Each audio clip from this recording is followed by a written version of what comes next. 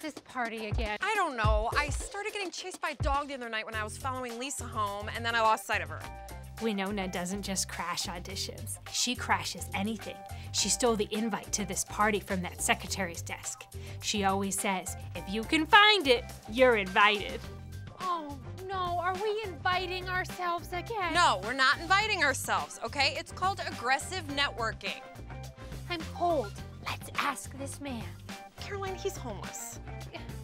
He's homeless, but he can party. Look, he has beer.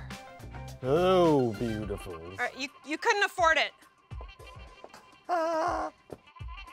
Thank you. Oh, here it is.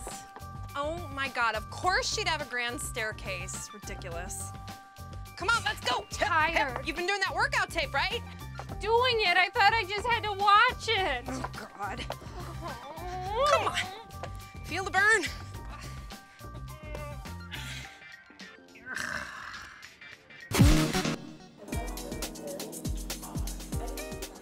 Chip is really good. Party is this again? Lisa, Caroline, Lisa Crawford. Oh, Our Lisa? Yes. All right, now, eh, eh, go easy on the dip. You remember what happened to you last time.